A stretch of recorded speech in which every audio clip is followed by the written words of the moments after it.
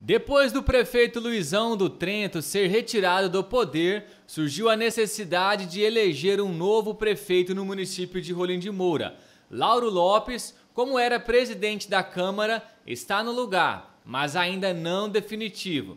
No dia 22 de junho, em consenso com todos os vereadores, ficou acordado que se faria uma comissão para dar continuidade às eleições indiretas. Entretanto, na manhã desta segunda-feira, em uma sessão do Legislativo, quando falado sobre o assunto, o clima esquentou. Baixei uma portaria e nessa portaria foi nomeados três vereadores para fazer parte dessa comissão, fazer esse estudo para montar o projeto de resolução para as, para as eleições indiretas. Todos ali que estavam foram aprovados por todos, os nove vereadores naquele momento, de que os três nomes escolhidos pela presidente vereadora Laudeci Menezes seria o vereador Aldo Júlio, seria o vereador Francisco Venturini e o vereador Leonel Pereira da Cruz. Porque passava por eles, eles montavam o projeto, faziam o estudo sobre o projeto das eleições e em seguida o projeto seria lido em plenário e seguia para a Comissão de Constituição e Justiça, que está sendo esse o procedimento. Naquele momento, ainda foi perguntado se estavam todos de acordo com o nome que a vereadora havia indicado concordaram que sim. E hoje, para minha surpresa nesse plenário, fiquei surpresa quando havia insatisfação de alguns, não entendi, não estou entendendo até o momento o porquê. As opiniões se dividem quanto à realização ou não das eleições indiretas. O ponto em questão de maior preocupação seriam os impactos causados no próprio município com mais uma troca de gestão. É devido estar numa reta final de mandato, aproximando é, eleições municipais, momento de pandemia.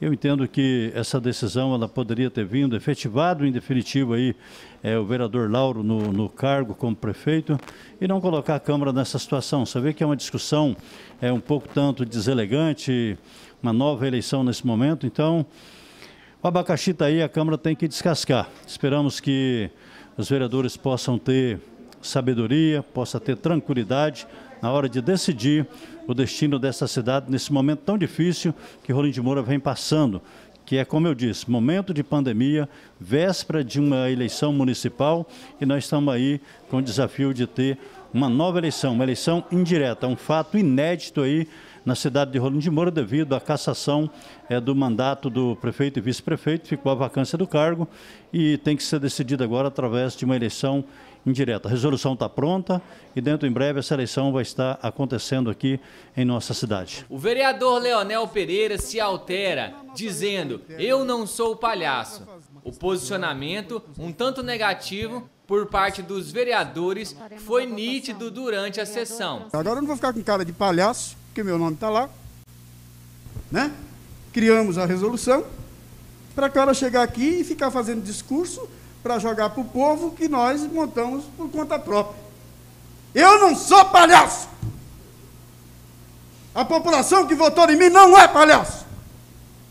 Se fizermos a resolução, que vote, que eleja esse prefeito. Entretanto, segundo a presidente, ela não entendeu o posicionamento de alguns vereadores, pois até então todos se mostraram favoráveis e a ação em sessão se mostraram insatisfeitos. Não consegui entender até o momento. Inclusive, é, pretendo é, fazer uma reunião para saber o porquê porque o que havia sido discutido na data do dia 22 no gabinete da presidência, a qual ali todos os nove ficaram de acordo, que seriam os três vereadores, como montar o projeto né, de resolução, monta, fizeram o estudo e montaram o projeto. E hoje, para minha surpresa, em plenário, não tive conhecimento antes, foi em plenário que estava acontecendo, vi a insatisfação. E a gente tem que seguir os prazos hoje, de, depois da, do estudo dessa comissão de vereadores,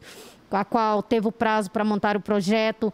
Agora o projeto está pronto vai para a comissão de constituição, depois abre, vai ali, já vai, se eles acharem que devem mudar alguma coisa, vai mudar. Não é a presidente que vai fazer isso, determinar dessa forma ou daquela forma. Tem que ter um estudo antes, um projeto